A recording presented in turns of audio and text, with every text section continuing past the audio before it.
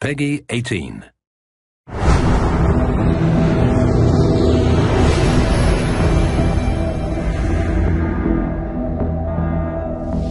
We knew that in a human revolution we wanted to have a conspiracy that would go all over the world. So we will, we will have the player uh, traveling a lot.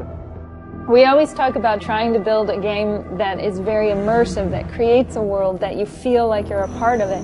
And the city hubs provide a lot of exploration possibilities. There's apartments to get into, there's emails to read. It's all about multi-path, multi-solution. Everything that we were to build had to have different paths to get there. It's kind of like you're free to explore and they're, and they're, and they're humongous and uh, they have their own visual flavor, their own populace. Like we spend a lot of energy on designing the, the fashion and the clothing design. So you have a variety of characters in there um, who will give you bits of information here and there about the world, the city, the characters, and some of them will offer you side quests. I need someone to break into his apartment, sneak into DRB territory, and finally go undercover posing as a hitman.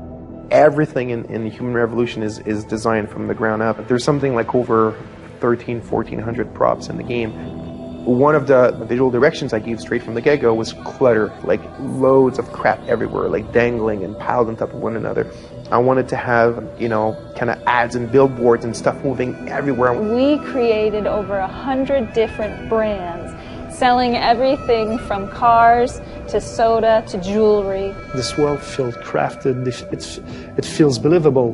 The analogy was to say that on the 20th century, uh, cars were king, and on 21st century, augmentations are king. There's a very strong force in the city, Sarif Industries, that feels that these augmentations will propel the city to a new birth and a new uh, prosperity.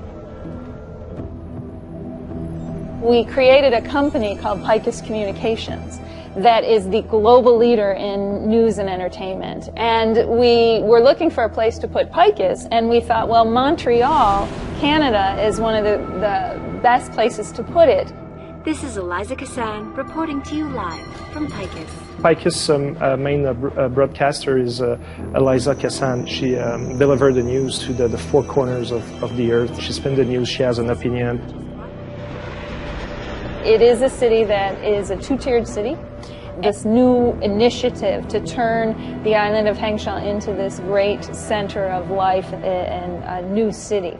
And one of those companies was Tai Yong Medical. Having the Tai Yong Medical kind of augmentation, it's hip. It's, it's the kind of thing that people should want. You, you feel that you're in a different world.